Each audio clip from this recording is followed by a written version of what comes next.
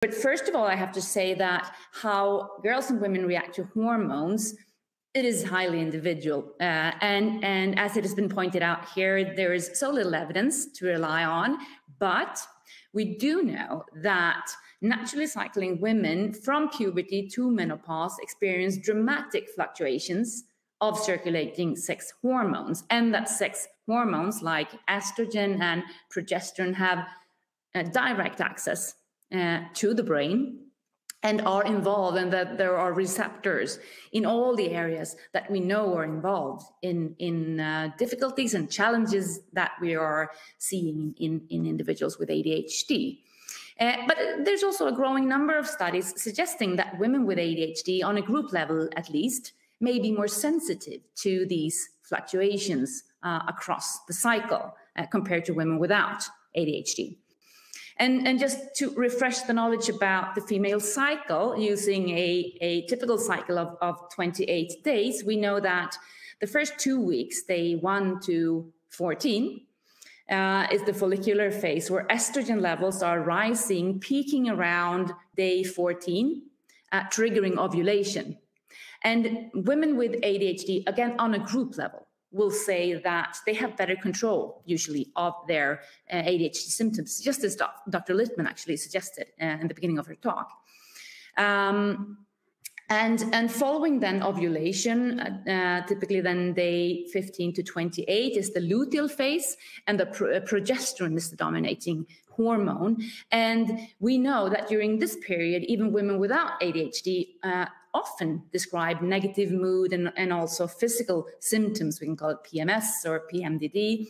And, and women with ADHD often also report less control over their ADHD symptoms, and some may even, even experience that their ADHD medication may be less effective uh, during this uh, premenstrual uh, period. Then. And um, I, I, assume, but maybe I shouldn't, that um, many clinicians are unaware of the impact of, of hormones on medication, and that could complicate yeah. treatment.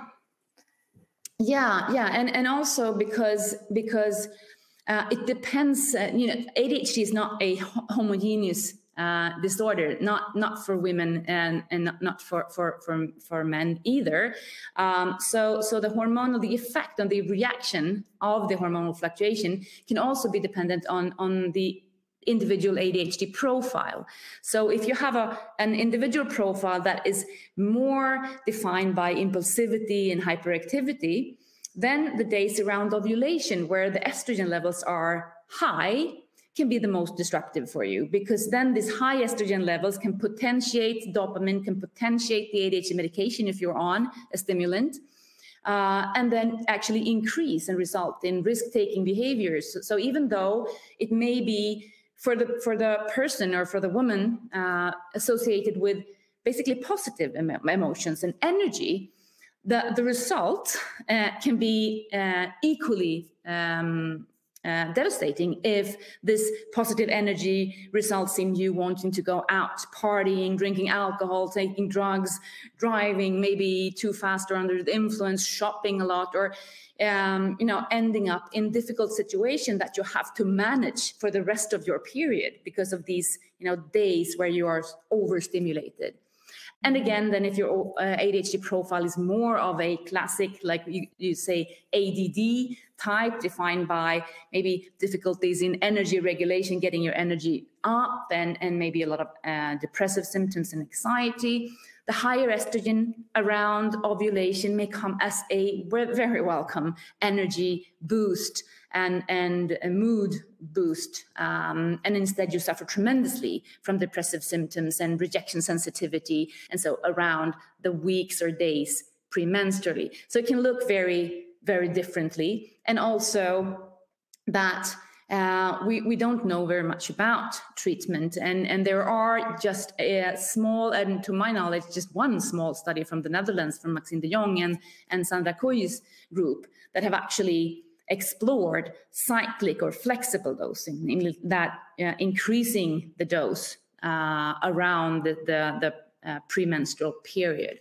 Um, so, so we don't know, but we suspect and we think, and the theoretical model is there. But again, so much uh, that we don't know, and we have very little, as clinicians, very little support and guidelines to rely on. We really have to to make individual assessments for every woman and discuss her hormonal profile. Yes, and there's some um, interesting new research that I know many of you are aware of. I believe it's um, Dr. Martel on the um, the impact of estrogen mm-hmm. and progesterone. Um, yeah. Yes, uh, um, and and she's contributing um, an overview of her research to to the summer issue of ADDitude. Um, so um, I think that it, we're excited um, to be able to present uh, that we sort of visually so, to help people so understand. Excited.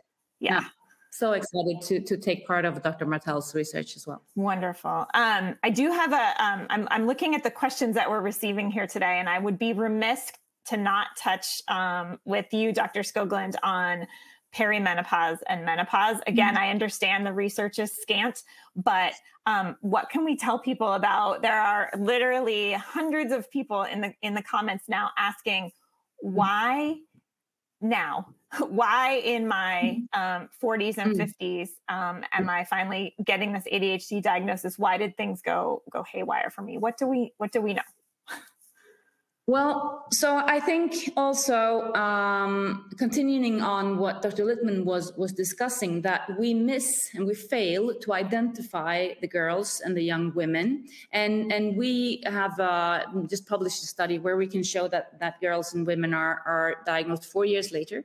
So so uh, uh, girls uh, and women will be missed for a longer time. So that is one of the questions, and and it's not you know so um, you know far uh, in our in our history where we actually didn't talk um, much about adult ADHD and and and even less about uh, adult females with ADHD. So so I think that is one uh, explanation. But then we also have this complex interaction with the hormones where we know that uh, women with women just uh, with and without ADHD will be affected uh, cognitively and physically uh, when we go through uh, perimenopause, these years around um, um, uh, menopause. And the, the, the challenge here is to try to disentangle is this something, is this cognitive um, symptoms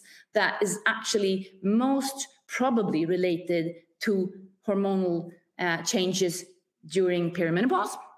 Or is this a um, person who have lived with undetected ADHD for her entire life, been able to mask, as Dr. Littman say, been able to cope, to find strategies, while, while the strategies is no longer holding up when this also this hormonal hit to the brain comes uh, in the perimenopause. We don't know very much about that, but we, we do have some studies showing that women without ADHD in perimenopause get improved cognitive functions from central stimulants from ADHD medication and vice versa, that women with ADHD seem to respond really well to um, uh, menopausal hormonal treatment, HRT or MHT, uh, uh, in, in, and that their ADHD symptoms seems to answer to that as well. So this is a, a, an extremely important uh, topic where we where we are just scratching the surface. But we have to use our common sense, I think, and we have to realize that ADHD is a childhood disorder. It's not a childhood disorder, but but it's it's uh, you are born with it or you develop it early on in life, and then it can be missed and diagnosed in adulthood. But if you have no symptoms of ADHD and then you get ADHD symptoms in your mid 40s, then um, hormonal factors um, might be the best hypothesis to start with. Again, you have to be super individual. You have to have this collaborative um, discussion uh, with your clinician and and uh, a very open, um, I guess, mind in this shared decision making when you go forward.